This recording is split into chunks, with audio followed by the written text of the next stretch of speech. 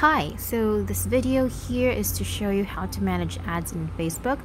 I am using a mobile phone in this video, but probably this might also help as a reference when you're using your desktop or your laptop screen.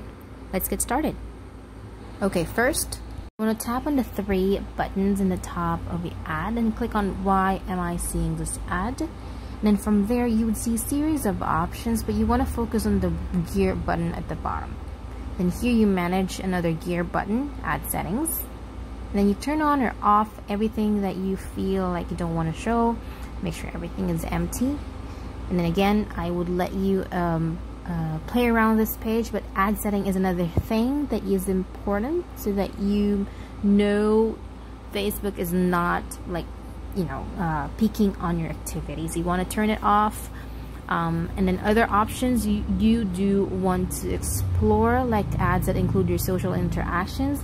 If you want to if you don't want to see your friends you know like say liking liking pages that you don't want them to see so turn this off um, to no one by, by clicking on no one and that takes care of it.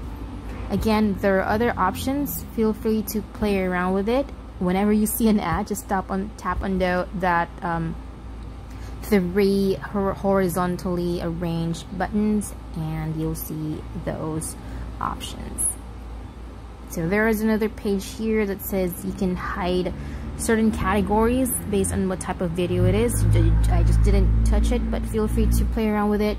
It might just take you around five minutes maximum to finish everything up as this may not be the sole function to remove ads. It might help reduce those stuff that you see on your Facebook page. Thanks.